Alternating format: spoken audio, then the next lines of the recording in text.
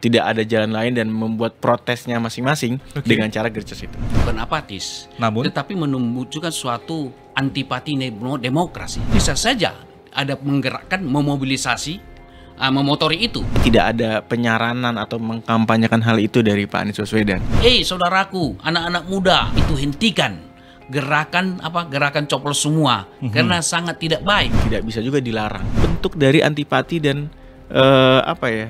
Terlihat jalan yang buntu dalam demokrasi hari ini. Anies adalah tokoh agen perubahan.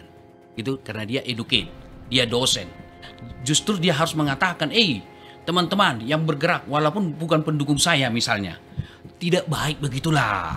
Jadi janganlah ah, coplos semua." Mas Anies bisa jadi nanti kita lihat mungkin aja beliau mendukung salah satu paslon yang ada di Jakarta. Gerakan ini menurut saya masih sporadis lah. Jadi tidak merah tidak me- mendai seluruh daerah Jakarta, hanya segelintir orang. Jadi apakah itu dapat respon yang secara massal di Jakarta? Saya kira tidak lah. Anies masih menimbang soal aspirasi mengenai ormas maupun partai Iya. maupun mendukung salah satu paslon dan kita tunggu mudah-mudahan ada terobosan baru dari MK.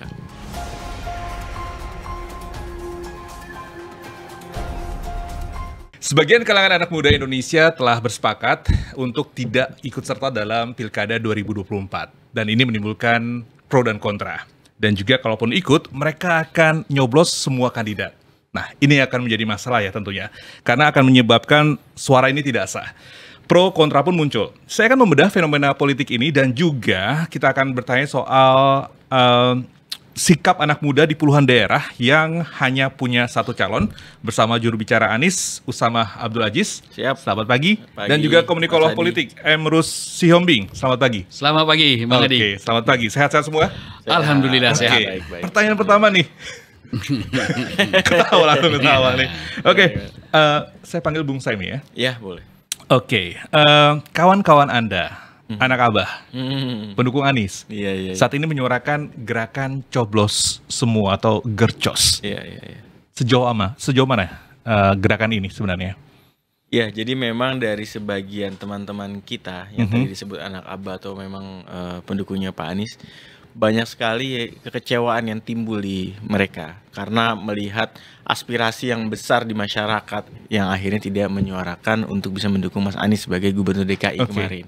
Nah, hal ini memang akhirnya eh, menjadi suatu presiden buruk bagi mereka dan juga bagi presiden buruk bagi demokrasi kita hari ini bahwa aspirasi rakyat yang ditu- ditunjukkan oleh eh, survei yang tinggi 40% lebih Mas Iya. Anies pada saat yang lalu. Mhm. Nah, memang fenomena ini akhirnya membuat mereka eh, antipati dan akhirnya terlihat eh, tidak ada jalan lain dan membuat protesnya masing-masing Oke. dengan cara gercos itu. Tapi, kalau kita- misalkan sikap kalau misalkan itu menjadi sebuah sikap kritis eh, demokrasi, haruskah dengan gercos? kita harus menghargai itu dan itu memang bentuk dari demokrasi dan itu memang Hmm. hal yang terbuka dan tidak bisa juga dilarang karena itu adalah sikap politik masing-masing tapi tidak ada penyaranan atau mengkampanyekan hal itu dari Pak Anies Baswedan Oke. jadi itu memang dilepaskan atau dibiarkan untuk masing-masing pribadi yang memang Mhm. memilih untuk mengambil keputusan itu kalau dari Mas Anies sendiri kita tidak ada mendorong atau menyuruh atau eh, meminta orang-orang untuk melakukan gercos itu jadi memang eh, kita membebaskan masing-masing dan kita harus hargai hal itu Oke, tapi itu akan jadi eh, sebuah koreksi demokrasi yang sukses atau bahkan justru sebaliknya? Sepertinya sebelumnya belum pernah ada ya untuk misalnya mencoblos semua ya. Mungkin ini bisa menjadi fenomena baru kalau sebelumnya itu pernah ada beberapa provinsi atau kota yang melawan kota kosong dan akhirnya kota kosong menang. Ya. Dan ini mungkin memang menjadi suatu warna baru dalam demokrasi. Mhm. Ya nggak masalah sih biar jadi sejarah dan bisa jadi catatan ke depan itu baiknya memang aspirasi rakyat harus diteruskan. Nah, kalau misalkan kita beranggapan bahwa politik itu adalah sebuah seni. Mhm. Kalau teman-teman gercos berpandangan politik itu harus hitam putih. Seperti apa pandangan Anda? Iya betul. Eh, memang politik itu tidak bisa abu-abu. Mhm. Iya memang eh, tapi memang untuk bisa mengakomodir semua Ya. perlu juga terkadang. Tapi memang kita lihat yang saat ini dilakukan oleh mereka betul-betul bentuk dari antipati dan eh, apa ya? Terlihat jalan yang buntu dalam demokrasi hari ini dengan adanya hal itu. Oke. Oke, Bang Emrus. Anda berpandangan seperti apa dengan melihat gercos ini kalau dikatakan sebagai bagian dari koreksi demokrasi? Baik, yang pasti adalah itu disounding ke ruang publik. Kalau saya bicara akademik, tidak ada pesan komunikasi berdiri sendiri. Itu adalah produk sosial. Jadi seseorang menyampaikan pesan, berarti itu produk interaksi dengan manusia lain. Jadi kalau dikatakan itu uh, kebebasan mereka, kehendak mereka, kita pertanyakan secara akademik. Itu bisa saja ada menggerakkan, memobilisasi, uh, memotori itu. Tapi yang jelas kata beliau bukan Bung Anies. Saya kira Bung Anies tidak akan melakukan itu karena dia adalah seorang pendidik. Dia dosen, saya tahu bet- betul. Tetapi apakah itu kehendak individu? Tidak bisa kita katakan demikian. Kenapa? Pesan komunikasi ketika kita berdialog seperti ini produk interaksi dengan manusia lain. Jadi tidak ada perilaku komunikasi di ruang hampa. Demikian ah, teori dan konsep komunikasi. Lalu kemudian, kalau misalnya katakanlah ada kekecewaan pendukung Anies ah, melakukan gerakan ah, coplos semua, berarti batal semua suara yang mereka lakukan. Kenapa tidak dibuat saja tidak usah datang ke kotak suara misalnya? Ngapain habis-habisin ah, kertas suara dicoplos semua? Nggak usah datang saja misalnya, karena itu hak memilih dan tidak memilih. Nah, kemudian ada ruang kok buat Bung Anies. Kenapa selama ini? Kan Bung Anies ini intelektual, politisi yang sudah tingkat nasional. Dia tidak sembarangan. Seharusnya dia bisa membaca bagaimana partai politik akan mendukung dia atau tidak akan mendukung dia. Harus bisa dibaca. Oleh karena itu ada ruang khusus untuk pilkada. Kenapa tidak dia bergerak untuk calon independen kemarin? Kan bisa dia baca. Wah, kalau partai ini ah, ah, pendekatannya begini dan lain-lain dan lain-lain sebagainya di belakang panggung kan ada itu semua. Oke. Nah, dia ma- harus mampu menganalisis itu sebagai pemimpin, sebagai tokoh nasional. Masa dia tidak bisa menganalisis itu? Harusnya dia membaca situasi itu, mencari peluang supaya calon independen. Bahkan saya berpendapat bahwa calon independen ini justru ini adalah suatu hal di mana antitesis daripada partai politik. Karena ini adalah kehendak dari rakyat, gitu ya. Bahkan di presiden kita buka ah, ah, apa katakanlah keran itu dari calon independen. Jadi oleh karena itu tidak ada alasan bagi teman-teman yang tidak dicalonkan oleh partai lalu ah, mereka merenggut apa, apa katakanlah tidak setuju dan lain-lain gitu ya. Bahkan pendukungnya membuat suatu gerakan dan saya berpendapat dari sudut pendidikan politik karena politik itu yang utama adalah pendidikan loh Bang, bukan adalah bagaimana kita berkuasa tidak. Ya. Nah, kalau dilakukan gerakan coplos semua, itu tidak mendidik. Saya siap berdebat dengan siapa pun. Lebih baik mengatakan bahwa hak saudara memilih dan tidak memilih. Itu memang demokrasi. Tapi kalau datang ke situ, waktunya habis, tenaganya habis, ongkosnya habis, lalu dicoplos itu kertas suara semua, penuh. Kan pemborosan dan tidak pendidikan politik. Demikian. Bung, silakan menanggapi. Iya, soal yang masalah independen. Aha. Memang pada saat itu kita tahu bersama bahwa pada saat proses daftar independen yang sedang berjalan, Mas Anies sudah didukung oleh tiga DPD. Ya, tiga DPD pendukung itu mendukung. Artinya kalau misalnya Mas Anies sudah didukung oleh tiga DPD dan tetap mendaftar independen, artinya tidak etis. Dan itu Oke. itu sulit untuk dilakukan lah, ya kan? Nah, begitu pendaftaran ditutup, baru akhirnya ada beberapa partai yang akhirnya menarik dukungan. Hmm. Karena sekali lagi itu tidak etis untuk misalnya pada saat proses independen dibuka, tapi akhirnya Mas Anies eh, sudah didukung partai tapi tetap mendukung independen. Itu yang pertama. Jadi yang kedua, ya yang kedua juga bahwa memang eh, ya Mas Anies bisa jadi nanti kita lihat mungkin aja beliau mendukung salah satu paslon yang ada di Jakarta. Oke. Nggak untuk kemungkinan, hmm, mungkin hmm, aja. bagus. Oke. Mungkin aja. Tapi- Tapi itu nggak untuk kemungkinan. Yang di highlight sama, Bung Emrus ini juga eh, ini tidak mendidik seperti itu kan? Betul, betul. Anda? Gini, karena kalau kita lihat ini kan bentuk hak.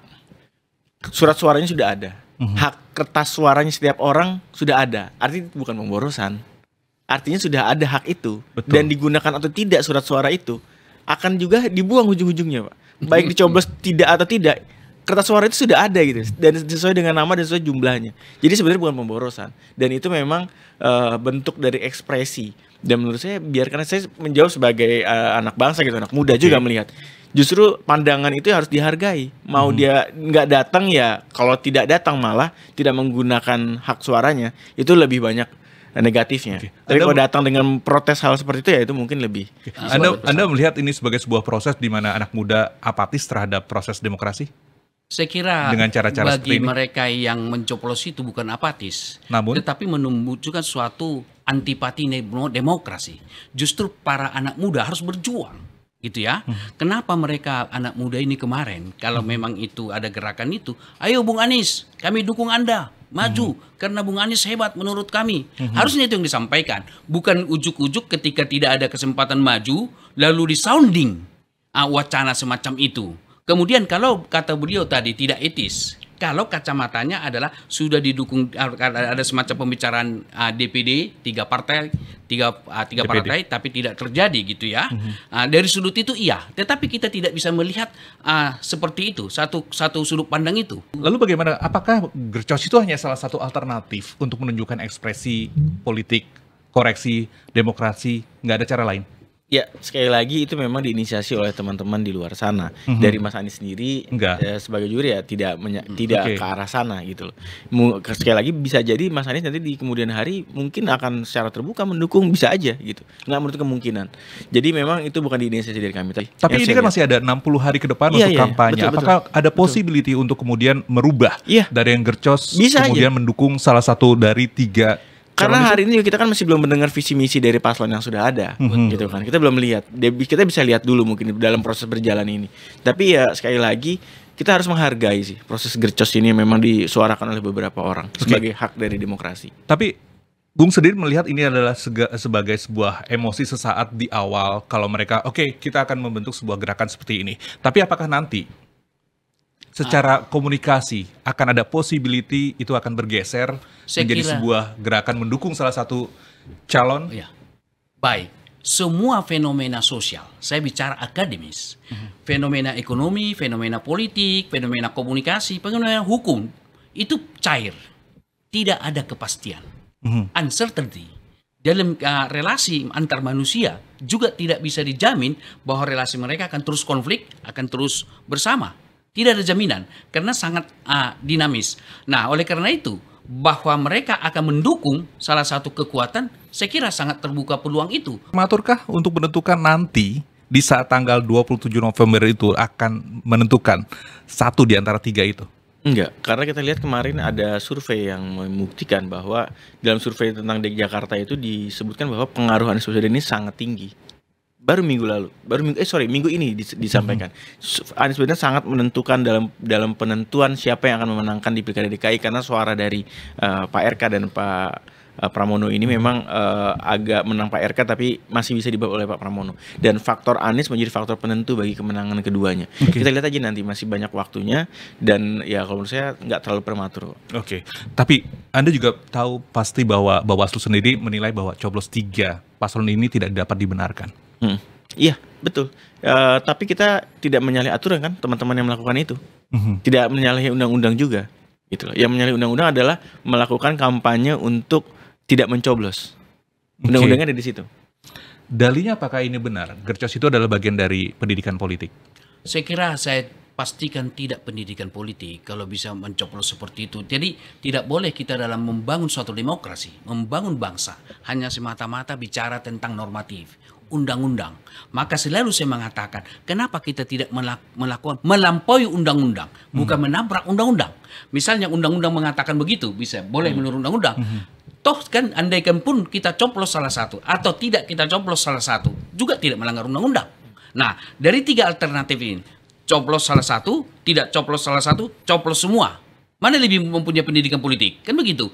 Nah, itu harus kita melihat. Jadi, kalau kita katakan hidup kita ini hanya normatif saja, saya kira tidak akan jalan suatu masyarakat, suatu negara. Contoh, ketika misalnya katakanlah lampu merah, kan menurut peraturan kalau lampu merah nggak bisa lewat kita. Ya.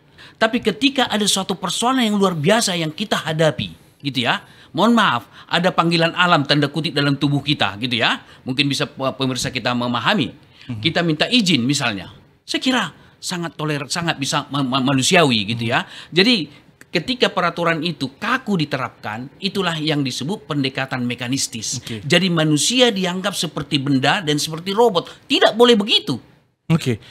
Tadi di awal Anda mengatakan bahwa inisiasi ini bukan berdatang dari Anies. Ya, ya, ya. Tapi apakah gerakan ini sadar bahwa gerakan ini juga akan membawa backfire buat Anies sendiri sebagai eh, merusak citra? Pak Anies tidak bisa mendrive pemikiran setiap orang pendukungnya. Itu adalah hak masing-masing. Namun- Dan namun ya kita tidak bisa melarang dan tapi Pak Anies kita masih belum tahu ke depan mungkin beliau akan mendukung salah satu yang tadi saya sampaikan. Tapi ada lagi satu solusi sebenarnya. Saat ini sedang diproses oleh salah satu eh, eh, yang mengajukan ke MK untuk membuat satu kolom untuk tidak memilih. Jadi misalnya ada tiga calon, Mhm. tiga foto, ada satu kolom baru, Nah, kolom itu. untuk tidak memilih. Oh, boleh. Gitu. Jadi ada satu kolom yang memang untuk memilih. Jadi itu sedang diproses di uh, judicial review ke MK. Oke. Kalau itu memang nanti bisa dikabulkan, ya bisa jadi itu memang solusi. Betul. Jadi mungkin tidak mencoba tiga-tiganya. Suaranya sah, tapi memang suara untuk tidak memilih siapa pun. Oke. Jadi itu menjadi suatu hal yang menarik dan menjadi terobosan baru dalam demokrasi kita gitu. Dan di luar negeri juga sudah ada yang melakukan hal itu sebenarnya. Anda melihatnya itu? Saya kira setuju jika dibuat seperti itu gitu karena itu hak hak untuk tidak memilih kan begitu mencoplos memilih yang ruangan kosong itu adalah tidak memilih kan jadi sama saya kira bagus sekali kita mengimbau kepada Mahkamah Konstitusi segera memutuskan itu Masalahnya adalah belum aja ada ada usulan seperti itu toh juga puluhan eh, puluhan daerah juga sudah ada eh, kota kosong seperti itu. Apakah itu juga justru menambah menambah masalah di di ujung November nanti? begini persoalan kotak-kotak kosong ini Mhm. sebenarnya di pilkada kalau mau jujur harusnya tidak boleh kotak kosong. Tapi- kalaupun partai itu bersatu atau menada pada koalisi gerbong koalisi gemuk gitu ya harusnya uh, calon independen maju. Supaya tidak terkecuali memang tidak ada ruang untuk calon independen. Kita salahkan itu partai. Gini jadi partai yang mereka bersama mendukung salah satu kekuatan politik harusnya tokoh politik yang akan maju harus mempersiapkan diri. Eh aku maju jalur independen. Dengan demikian ada tanggung jawab. Jadi tidak boleh kita bebankan semata-mata calon independen ini hanya kepada partai saja. Karena di pilkada diberi ruang untuk calon independen. Harusnya tokoh-tokoh masyarakat yang memperkirakan dia tidak maju ya tidak akan didukung oleh partai atau tidak mau didukung oleh partai seperti yang dari Jakarta. Kan sudah lama dia berjuang itu kan. Dan mensounding ke ruang publik. Bagus sekali jadi artinya bahwa di seluruh Indonesia harusnya ada semacam ini dilakukan. Jangan udah tiba-tiba ada tidak ada calon independen seolah-olah kita salahkan semua partai. Kecuali memang seperti ah, katakanlah pilpres memang tidak ada ruang untuk itu. Jadi sangat tidak baik kalau Oke. itu dibuat katakanlah ah, seolah-olah itu menjadi suatu tanggung jawab partai saja karena ada ruang untuk calon independen. Bung, bisakah kita mirroring bahwa di lain daerah aja mungkin anak-anak muda berharap bahwa lebih dari satu paslon. Tapi ini ada tiga, justru justru mencoblos semuanya. Nah. Jadi memang ada memang tuh ada teman-teman yang melakukan itu. Ya saat ini kita melihat balik lagi bahwa ini bentuk protes dari publik bahwa memang ada ketidakadilan dalam demokrasi, ada yang tidak benar dan tidak tidak sehat dalam demokrasi hari ini. Dan itu kita harus hargai. Dan sebaiknya ruang itu harus dibuka untuk teman-teman yang memilih untuk melakukan hal itu. Oke, masalahnya proses sudah berjalan. Ya. Tanggal hari Minggu sudah sudah la- dilakukan proses berikutnya untuk pilkada. A- ada kemungkinan suara-suara itu akan bisa terdengar menjadi sebuah resonansi untuk bisa eh, diangkat ke publik atau bisa merubah keputusan. Toh juga nggak bisa.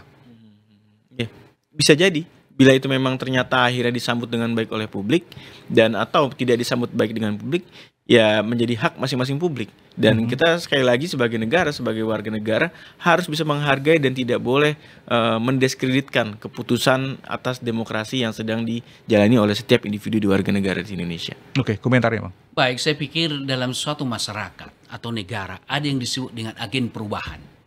Anies adalah tokoh agen perubahan. Itu karena dia educate dia dosen justru dia harus mengatakan eh teman-teman yang bergerak walaupun bukan pendukung saya misalnya tidak baik begitulah jadi janganlah ah, coplos semua nggak apa-apa kita harus berani menyampaikan sesuatu yang boleh jadi memang tidak sesuai keinginan mereka tetapi demi pendidikan politik. Misalnya katakanlah ada sesuatu yang kita sampaikan saya sebagai dosen misalnya kepada ma- ma- mahasiswa saya. Ya. Tidak tidak tidak begitu enjoy dengan itu tapi demi pendidikan. Saya harus sampaikan pesan itu. Suka atau tidak suka mereka. Nah, Anies kita saya menurut pandangan saya karena itu tidak educate dan tidak digerakkan oleh Anies dan Anies ah, boleh dikatakan tidak keinginan dia seperti itu, sampaikanlah, "Eh, saudaraku, anak-anak muda, saya hargai pendapatmu. Boleh dong saya berpendapat menyarankan supaya itu hentikan gerakan apa gerakan coplos semua karena sangat tidak baik. Artinya apa? Bahwa ah, dengan melakukan seperti itu bahwa mereka tidak punya memilih, tidak berani ketegasan. Oleh karena itu solusi yang terbaik seperti kata beliau, kita menyarankan Mahkamah Konstitusi segera mungkin bisa bila perlu besok diputuskan itu supaya ada kotak kosong, eh bukan kotak kosong apa namanya, kolom, Kolom kosong. Ah, untuk mereka menampung aspirasi itu sehingga satu pilihan. Demikian. Oke, Bung Semi sebaliknya, apakah anda bisa melihat bahwa eh, yang terjadi saat ini itu bisa menjadi drive-in, driven buat gerakan-gerakan lainnya? Bisa jadi karena memang kekecewaan itu kita lihat hari ini sangat besar. Bahkan Seberapa ada- besar sih kecewa anda? Dari tadi kecewa, kecewa. Mas coba lihat ada salah satu paslon yang masuk ke mana-mana ditolak. Mhm. Spanduk ada yang ada ya videonya tersebar lah itu. Dan akhirnya ada juga mem- memilih akhirnya depresi tidak mau eh, memilih bahkan itu kan lebih parah lagi kalau sampai Iya. nggak mau datang ke TPS. Dan ini yang akhirnya harusnya ditangkap oleh parpol untuk bisa meyakinkan mereka. Ini tugas parpol sebenarnya. Tugas parpol tugas paslon untuk meyakinkan orang-orang yang mungkin menggerakkan gercos ini bahwa lebih baik memilih saya misalnya San. lebih baik daripada negeri sayang sorry lebih baik memilih saya. Ini juga tugas mereka gitu. Bukan hanya tugas Anies Baswedan.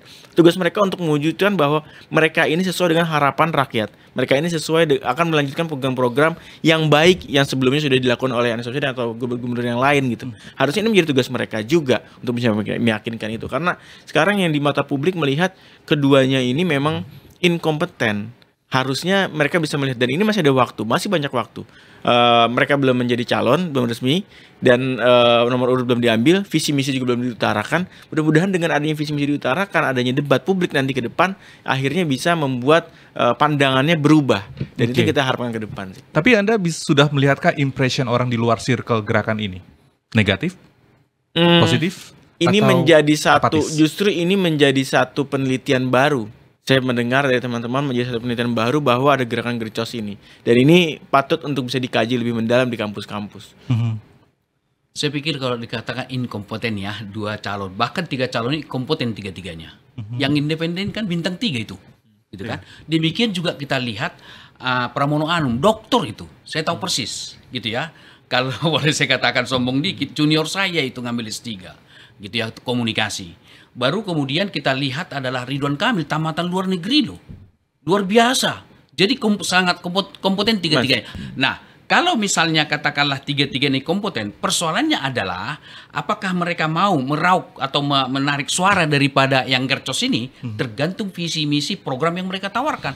Tawarkan saja. Katakanlah mereka itu generasi muda mayoritas. Apa sih yang mereka inginkan? Gitu kan? Mungkin lapangan kerja, mungkin startup, bisnis startup atau dan lain-lain atau studi ke luar negeri gratis di dibiayai oleh negara. Karena keter, keterbelakangan kita di Indonesia karena saya bergerak di bidang pendidikan adalah sumber daya manusia kita dari sudut pendidikan kita kalah sekarang dengan Malaysia.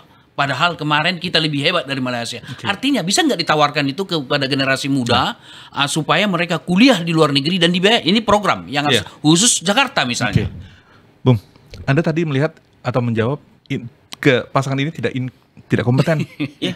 Dari sisi mana ya? Iya. Tadi udah dijabarkan. Iya iya iya. Saya melihat hari ini Pak RK pun kita lihat komentar-komentar publik Jawa Barat melihat Pak RK masuk ke Jakarta malah bilang terima kasih. Karena akhirnya tidak ada RK lagi di Jawa Barat. Ini menjadi satu presiden buruk bagi sebenarnya penilaian publik di Jawa Barat. Karena banyak program-program yang akhirnya sudah menjadi market, sudah dipublikasikan tapi tidak kejadian. Ini yang memang perlu jadi catatan sendiri. Dan ya dari Pak Pramono memang juga kita belum bisa melihat bahwa eh, ya pengalaman ada dari sebagai menteri, tapi kita belum bisa melihat masalah pandangan dia di Jakarta, visi dia di Jakarta masih belum terlihat. Kita masih perlu lihat lebih dalam ke depan. Dan soal program-program di Jakarta, masalah pendidikan dan lain-lain, itu memang harusnya menjadi program pusat. Yang masalah di Jakarta hari ini yang dihadapi adalah lapangan pekerjaan, harga bahan pokok, bagaimana bisa punya rumah yang baik tuh dari warga Jakarta, bagaimana bisa punya kehidupan yang layak dari warga Jakarta, suara rakyat miskin kota, kampung bayam, bagaimana teman-teman Persija bisa punya home base yang memang bisa diberikan dengan uh, seluruhnya gitu. Masih masalah-masalah ini memang menjadi uh, dasar bagi warga Jakarta dan ini harus bisa dijawab oleh mereka. Tapi kan itu yang memang akan dijawab oleh mereka kan. Jadi tidak tidak hanya sekedar komentar dari warga Jawa Barat yang menganggap kepada Iya, RK itu karena kemudian melihat- menjadi melihat seseorang. bahwa mereka tidak kompeten. Melihat cara kerja seseorang itu harus dilihat dari rekam jejaknya kemarin. Kita lihat rekam jejaknya dari masing-masing paslon ini aja gitu. Mhm. Dan itu bisa mencerminkan bagaimana dia bisa melakukan pekerjaan ke depan. Apa yang coba dibandingkan apa yang sudah Pak RK laku, janjikan pada saat kemarin di eh, Jawa Barat dan apa yang sudah direalisasikan. Oke, tapi Kita lihat bukankah uh, ketika kemudian para DPD itu memilih uh, dua paslon dan satu independen itu sudah menunjukkan bahwa mereka punya nilai, punya kompetensi di bidangnya. Betul, saya pikir. Kalau tapi tadi, kalau tadi menjawab uh, komentar Iya. dari Bung Sami. betul bahwa mereka juga melihat. Tapi apakah ah, mereka bisa melihat kompetensi itu secara ah, detail gitu ya? Bisa, bisa saja karena kepentingan politik tertentu. Kita harus jujur mengatakan itu. Tetapi fakta menunjukkan tiga sosok ini punya kompetensi, terlepas daripada katakanlah partai menilai atau tidak. Misalnya, sederhana, kalau Ridwan Kamil itu maju di Jawa Barat, itu tingkat elektabilitasnya tinggi loh, gitu ya. Artinya respon publik ah, untuk Ridwan Kamil di Jawa Barat tinggi, bagus gitu ya. Ya. Nah, ketika pindah ke Jakarta memang tidak sebesar itu. Tetapi ada semacam gerakan, hati-hati. Gerakan-gerakan semacam ini masih dua hal yang bisa kita lihat. Katakan katakanlah ada menolak ah, ah, ah, apa itu Ridwan Kamil gitu ya. Nah, gerakan itu itu tidak murni bahwa itu tidak produk daripada interaksi sosial. Jadi pasti bangunan dari interaksi satu dengan yang lain sehingga mereka menyampaikan bahwa dalam bentuk bentuk dengan kalimat yang berbeda tapi maknanya adalah ah, menolak. Tapi hati-hati bahwa bisa saja itu terjadi justru menaikkan Ridwan Kamil di di elektabilitasnya. Kenapa? Eh, playing victim. Jadi sebagai seperti seolah-olah korban. Jadi saya melihatnya ini apakah ini adalah gerakan anti ah, Ridwan Kamil atau pendukung Ridwan Kamil memposisikan sebagai political victim. Jadi kita harus hati-hati karena gerakan ini menurut saya masih sporadis lah. Jadi tidak merah tidak me- mendai seluruh daerah Jakarta, hanya segelintir orang. Jadi apakah itu dapat respon yang secara massal di Jakarta? Saya kira tidak lah. Jadi hanya sekelompok-sekelompok kecil mensounding itu. Tapi saya mau katakan secara uh, akademis. Kalau saya katakan ada orang di belakang itu, saya nanti di, dikritik. Ini murni. Tapi saya baca, saya jelaskan dari sudut uh, akademis bahwa perilaku manusia adalah produk sosial, tidak produk dirinya sendiri. Oke. Produk sosial itu juga Iya. merupakan bisa dilihat dari kekecewaan. Tapi kalau saya bisa, Betul, betul. saya ingin bertanya kembali, lebih besar dari kekecewaan di balik gerakan ini atau dari melihat sosok-sosok yang menjadi paslon ini tidak memiliki kompetensi? Berat di mana sebenarnya? kekecewaan terhadap proses demokrasi yang kemarin terjadi, aspirasi yang tidak tersampaikan dengan baik, itu memang kece- kekecewaan ini yang besar, mas. Kalau masalah kompetensi ini mungkin kita masih bisa lebih berdebat, kita masih punya waktu untuk bisa membuktikan itu, kita masih bisa melihat bagaimana janji kontra politik, produk dan juga terobosan yang akan mungkin mereka mungkin bisa sampaikan, itu masih bisa dijawab nanti ke depan. Tapi kekecewaan ini memang sudah terjadi dan eh, lukanya sangat dalam dan ini yang memang menjadi eh, apa produk yang bisa menjadi hal yang negatif dan catatan sejarah ke depan. Oke, tapi dengan begitu Anda beranggapan bahwa itu bagian dari sebuah pendidikan politik. Yes. Ini bagian dari pendidikan politik dan ini bisa menjadi opsi dan mungkin ya harapannya para paslon yang hari ini ada bisa menjawab ini semua dan bisa merubah persepsi yang tadinya mau gercos tapi akhirnya bisa memilih salah satu dari mereka. Oke, kita berharap bahwa nanti ada possibility untuk kemudian ada perubahan-perubahan seperti itu. Ya, waktunya masih ada. Oke. Terakhir. Saya optimis itu. Karena pertama Gercos ini ah, kan sebagai produk sosial bisa Oke. berubah, sangat dinamis, sangat cair. Kepentingan di situ saya kira banyak sekali, gitu ya. Jadi bisa saja mengarah kepada ah, salah satu kandidat tertentu. Dan Anies alangkah menurut saya bahwa dia menyampaikan itu bahwa Gercos itu tidak begitu baik, baik secara pendidikan politik dan tidak ada salahnya lebih cepat Anies menyatakan ah, memberikan dukungan kepada salah satu kandidat terserah yang mana saja dan lebih baik. Kenapa? Tidak harus menunggu lama waktu supaya rakyat me- mengikuti siapa follower daripada Anies ini supaya cepat mengambil keputusan. Saya menyarankan kepada Bung Anies besok sampaikan itu dukungannya itu kepada salah satu kandidat itu supaya masyarakat yang katakanlah boleh jadi yang gercos ini nanti mengarah ke sana. Betul. Nah, kalau memang gercos ini mengarah kepada salah satu kandidat yang didukung oleh Bung Anies, berarti kita ah, me- menilai bahwa mereka-mereka ini adalah orang-orang yang di belakangnya Anies, sekalipun bukan keinginan Anies, begitu Betul. kan? Kunciannya itu adalah elektabilitas Anies terakhir ini kan yang cukup besar dan Ya, itu bisa ya. mempengaruhi kepada angin mana yang akan kemudian mengarah ke tiga paslon ini seperti itu Betul, kan. betul. Dan kita berharap bahwa ya ini cuma sekedar emosi sesaat. Kita berharap itu sebagai sebagai emosi sesaat. Anda pernyataan terakhir. Ya, eh, sekali lagi ini kita dari dari sisi Mas Anies sendiri memang beliau belum memutuskan untuk mendukung siapa pun. Betul. Kita masih ada peluang itu ke depan Ya. dan kita harus menghargai sekali lagi keputusan ini misalnya diambil untuk bisa melakukan gercos atau apa pun itu. Dan kita tunggu mudah-mudahan ada terobosan baru dari MK. Amin. Ada hal lain yang ingin Anda sampaikan? Baik, Bang? saya pikir Anies ini sudah tokoh nasional kita, calon presiden yang sangat luar biasa, yang hebat, intelektual. Mhm. Saya kira harus kita hargai. Dan dia sudah menggelorakan kemarin itu gerakan perubahan. Menurut saya, justru kalau dia calon ah, gubernur DKI, dia ah, turun kelas dari nasional menjadi ah, kelas daerah. Ah, syukur tidak jadi dia calon. Nah, tetaplah dia berada di garis perjuangan secara nasional, tidak main lagi di tingkat lokal. Oke. Karena dia sudah tokoh nasional kita. Jadi jangan sampai mem- memperbincangkan tentang pilkada dan lain-lain untuk memberi mendukung atau tidak mendukung. Tetapi memberikan konsep pemikiran, saya kira iya. Sebab dia adalah sudah menasional, bukan level dia lagi tingkat ah, daerah atau Jakarta. Demikian. Bung Sami, ada hal lain lagi yang ingin Anda sampaikan yang mungkin viewers Prosek perlu ketahui? Eh, enggak sih, yang pasti eh, saat ini juga Mas Anies masih menimbang soal aspirasi mengenai ormas maupun partai Iya. maupun mendukung salah satu paslon. Semua masih dikaji, semua masih mendalam. Soal mendukung salah satu paslon kita masih tunggu, waktunya masih panjang. Dan untuk ormas dan partai mungkin memang aspirasinya semakin kuat, makin ke sini, makin banyak yang ingin bergabung. Dan kita lihat nanti keputusan dari Mas Anies langsung. Oke. Boleh Fenom- sedikit tambahan bang? Silakan. Satu kalimat saja. Sebaiknya Bung Anies melakukan uh, social movement, pergerakan sosial untuk kepentingan bangsa dan negara tingkat Baik. nasional. Baik, terima kasih Bung Emrus dan juga Bang eh, Sami Thank you, atas Mas Adi. waktunya di Crossek untuk fenomena Gercos hari ini. Terima kasih sekali lagi kasih. sudah hadir. Thank you. Dan demikianlah eh, Crossek Thank you, Pak. untuk episode kali ini yaitu fenomena Gercos. Terima kasih Anda telah bersama kami selama 30 menit ke belakang dan eh, saya Prihadi ucap terima kasih dan pamit undur diri. Selamat pagi.